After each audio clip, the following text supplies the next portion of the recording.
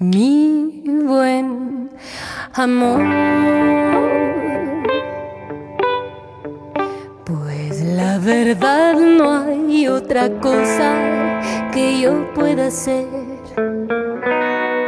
Tú no cambiarás, no me vas a convencer de que ahora sí todo va a estar bien.